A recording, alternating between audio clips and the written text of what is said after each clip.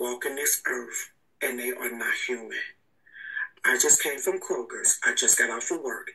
I went to go pick up a few items, y'all. I go to the bread aisle. Now, the bread aisle is super long. I'm at one end of the bread aisle. There's a guy that's about three fourths of the way down in the bread aisle. He got a cart. I got a cart. He's looking at me. And you know how you can see out your peripheral that somebody's staring at you. He ain't just looking, but he's staring at me. Kind of look his way. He's still staring. I go ahead and I get my bread.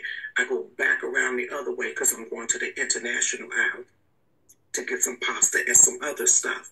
While I'm in the international aisle at one end, this guy comes around and he's at the top of the same aisle. I see him still looking at me. Now, mind you, there's a couple of things that I need to get out of that aisle. So the first part of the aisle, I grab what I need to grab and I go about midways down. He's at the other end. So he's staring at me still. So I kind of look at him and I go like, how do you get somebody that type look? He's still staring. So I'm looking for what I'm looking for. I can't really find it because he's throwing me off because he keeps staring. Mind you, this man don't have nothing in his cart. He's not even turned to look at any food. He's looking directly at me. By this time, I'm like, you know what? I'm not on it. I'm about to just stare you down. So I turn to look at him.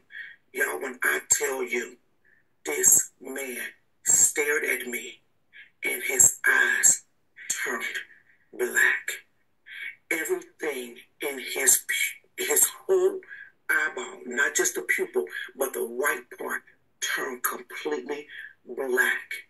He looked, he said, black, and then he walked away. When I tell you I left that car sitting in that aisle, I didn't even buy nothing from Kroger's. I left out and I came home.